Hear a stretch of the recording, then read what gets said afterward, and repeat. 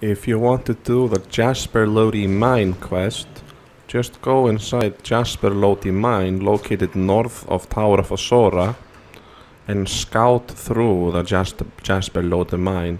You have to go very deep into these mines until the quest tells you that you have scouted through it.